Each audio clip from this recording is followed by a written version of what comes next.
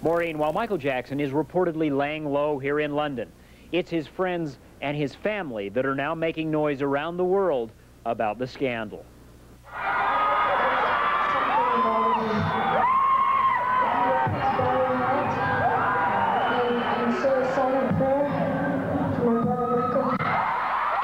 A silent prayer for my brother Michael. That was Janet Jackson's plea captured on an amateur video. The one spontaneous moment in Janet's totally choreographed concert tour.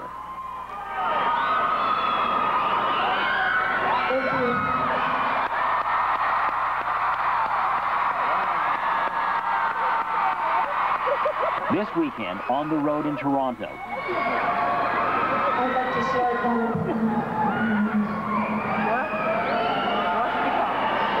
Janet Jackson breaks down for her brother. Just another sign that the Michael Jackson sex scandal is reaching the break.